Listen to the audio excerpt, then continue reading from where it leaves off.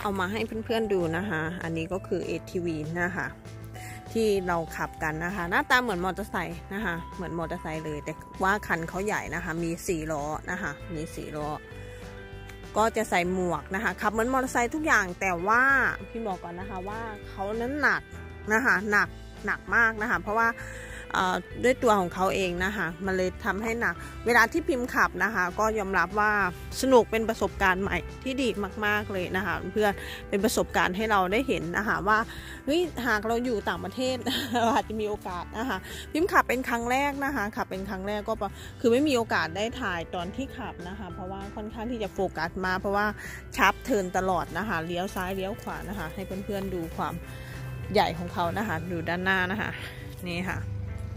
อย่างใหญ่เลยนะคะ คนขับนะคะเขาก็โอเคกันนะคะ enjoy นะคะ พิมพ์ขับเป็นครั้งแรกนะคะ แฟนก็ขับเป็นครั้งแรกเหมือนกันนะคะ แต่ไม่เหมาะสำหรับคนที่อายุต่ำกว่า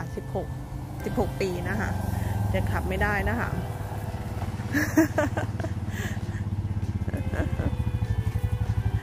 There.